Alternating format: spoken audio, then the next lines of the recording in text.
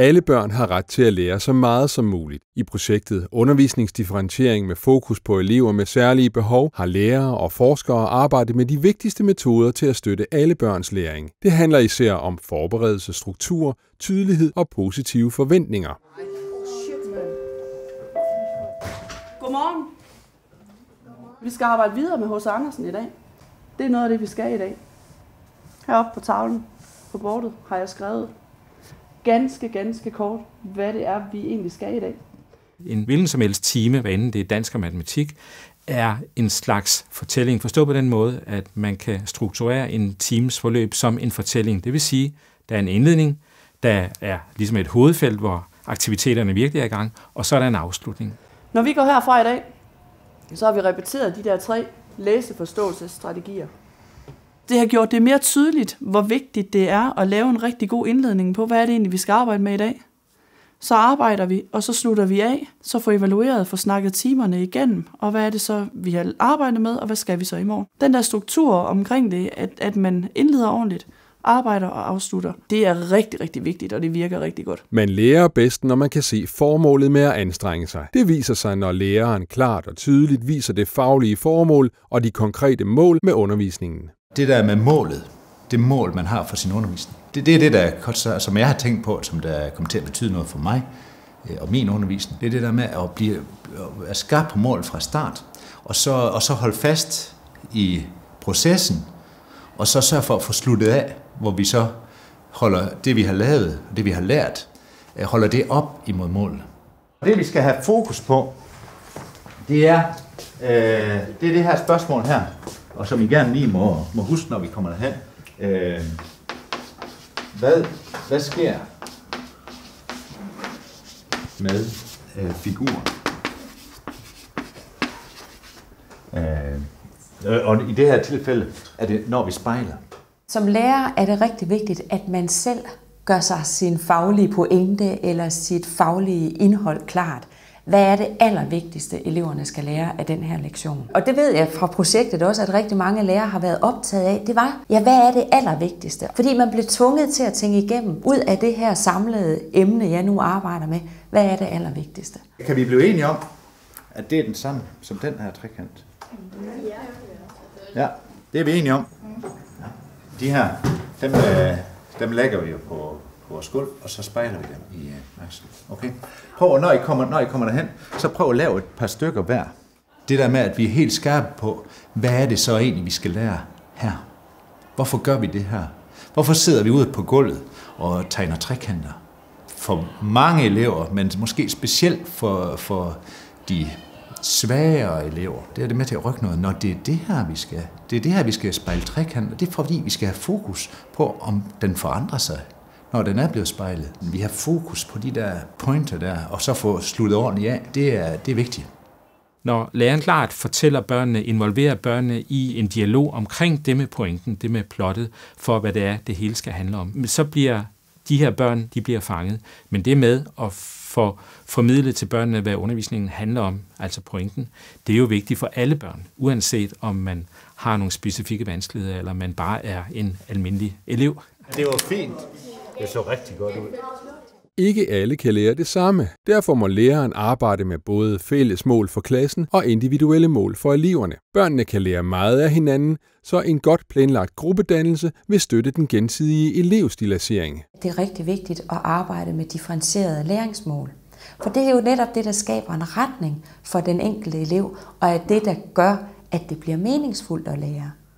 Vi lægger lag på, det betyder, at vi bliver dygtigere og dygtigere. Det I nu skal, det er at følges igennem teksten som gruppe og sige, jeg har noget øh, her på side 92, sådan at I får øh, tømt jeres tekster for ord, I som gruppe ikke forstår. Er I med på det? De skal jo ikke alle sammen nå det samme. Det er jo en succes, hvis nogen de når til en eller anden, altså at de kan huske på et tidspunkt om et år, at de har læst Kejserens nye klæder, og at det er hos Andersen, der har skrevet det. Men det er jo succeskriterie for nogle andre, at de er nået flere niveauer over det. Så der er vi jo nødt til at have en differentieret mål for dem hele tiden. Det, der er vigtigt, når man laver et formål for undervisning, det er, at man sikrer sig, at alle elever får mulighed for at deltage i undervisningen. Og det gør man blandt andet ved at opstille nogle fælles men også nogle individuelle mål for eleverne. I det mundtlige kan det sagtens gå. Der er det ikke så tydeligt, at de er meget, meget forskellige i, hvad de kan. Lige så snart de, det handler om grammatik, eller de skal formulere sig på skrift, eller altså, der, bliver, der bliver det rigtig, rigtig tydeligt. Så der er vi jo nødt til at have en differentieret mål for dem hele tiden. Der er også øh, lærere, som i projektet her er blevet ekstra opmærksom på den måde, de sammensætter eleverne på i grupper, og har egentlig været forundret over, hvor stor værdi det har. Når man som gruppe er færdig med det, så kommer man op med sine post-its og sætter det op på dokumentkameraet, så gør jeg det klar imens. Jeg ved også, hvem der synes, det er en kæmpe overvindelse at sige noget i det fælles. Dem er jeg øh, opmærksom på at få sat sammen i en gruppe. Altså jeg er meget opmærksom på, at de i gruppen også har nogen, der, der kan noget mundtligt, og så nogen, der er lidt mere forsigtige. Og når de så skal sige noget fælles, så tager jeg de lidt mere forsigtige, fordi nu har de fået det snakket igen i gruppen. Så har de fået nogle ord lagt i munden måske, som de kan bruge. Det er faktisk sværere for dem, der ikke vil sige noget til at sige noget, end det er at få dem, der vil snakke hele tiden til at holde mund. Altså. Læreren kan gøre formålet tydeligt ved at bruge sig selv. Klassen skal nu arbejde med den røde stol, hvor de skal formulere gode spørgsmål til kejseren fra eventyret. Øvelsen er ny for dem, så Trine Munk Christensen viser selv, hvordan man kan have det godt med at være i stolen.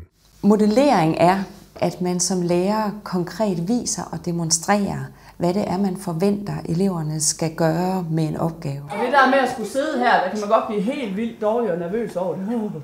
Jeg skal sidde her, og de skal bare spørge mig om alt muligt. Uh, jeg tør ikke. Men så hjælper det lidt, at man sådan kan læne sig lidt tilbage, og så bare sidde sådan helt. Det kan godt gøre det lidt bedre. Og knap så farligt. Det er, man sidder rigtig dejligt i den her. Ja. Vi skal lege en varm stol. Det betyder, at man skal forestille sig, at man er kejseren. At man har været udsat for det, han har været ude for. Okay? Jeg viser tit med min krop, og jeg er ikke, jeg er ikke bange for at, at indtage forskellige roller i løbet af en undervisning. Jeg er ikke bange for at være gakket. Jeg er ikke bange for at, at kaste mig ud i ting. Det skal man ture og gå lidt ud over. Altså at skubbe sig selv lidt ud over. Især for elever i komplicerede læringssituationer kan det nogle gange være svært at afkode, hvad det er, man skal gøre med en opgave. Men det er, at læreren faktisk viser, hvordan man kan gøre det og på den måde modellere, altså give et eksempel til forestilling eller til handling om, hvordan man kan gøre. Det skaber en klarhed og tydelighed omkring, hvordan man kan gå til opgaven.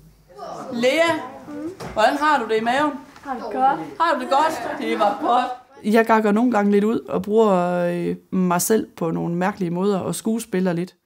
Og så griner vi af det, og så har vi grinet, og så har det været en rigtig sjov time. Men det kan jeg jo kun gøre, fordi jeg ved, nu det var det nu skal vi tilbage, og nu holder vi fokus her. Så jeg kan godt lave de der øh, sidespring af noget, hvor jeg, hvor jeg overdriver, fordi overdrivelse fremmer forståelsen for rigtig mange af dem. Men overdrivelsen har hjulpet nogen på vej. Karoline? Man kommer længere ned i teksten, så, og så kan man sådan pille i den. Så man, kan, man piller i teksten, når man kommer længere ned i teksten. Når formålet med undervisningen er klart, er der grundlag for at forvente noget af eleverne. Men hvad forventer lærerne af elever med forskellige forudsætninger? Jeg synes, det allervigtigste, det er, at man er tydelig omkring sin struktur. Man er tydelig omkring, hvad det er, man vil, hvad man forventer af eleverne, og at man er fuldstændig klar over, at det, man forventer af dem, at det kan de sagtens leve op til. Har man sagt det, så får man det. Lærernes forventninger til eleverne er jo altafgørende. Det viser rigtig mange undersøgelser. Nu lægger det der, så skal I spejle. Okay? Ja. Vi kan alle sammen noget. Og vi skal alle sammen noget. Og jeg forventer egentlig også, at vi alle sammen gør noget. Altså, altså hvis ikke forventninger, vi skal have nogle forventninger til de her unge også på en eller anden måde. At, at vi ikke bare forventer det, de træls ting, men, men at vi forventer de gode ting og de konstruktive ting også. Altså, hvis ikke, hvis ikke vi har forventninger til dem, jamen, hvorfor skulle vi så gøre? Altså, hvis, hvis han ligeglad, ham der, den gamle læreren, ja, hvorfor? Hvorfor skulle så? Hverdagen som lærer er udfordrende, men udbyttet af en inkluderende undervisning kan komme, når vi tror på alle børn i klassen, og når der er plads til at have det sjovt. Var det dejligt at være nøgen? Det var sådan rigtig sexet